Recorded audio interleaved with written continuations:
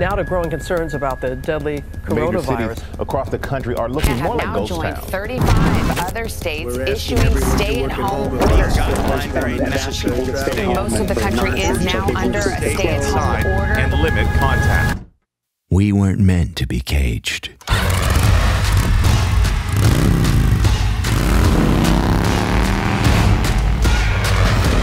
We were born of the wild, raised from the dirt, and shaped by adventure.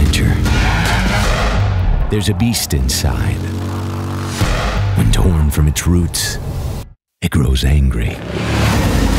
The truth is, we need the dangers, the unknown, and rugged terrains to stay alive. So when told to stay home, well, this is my home.